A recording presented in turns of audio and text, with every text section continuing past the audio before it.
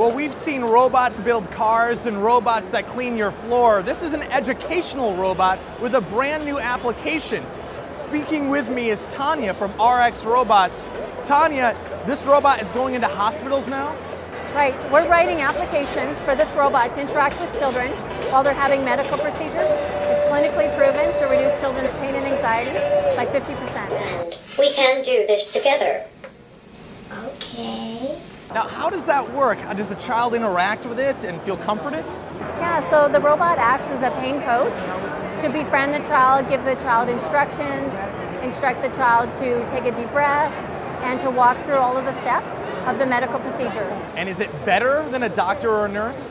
So doctors and nurses are focused on conducting the actual medical procedure.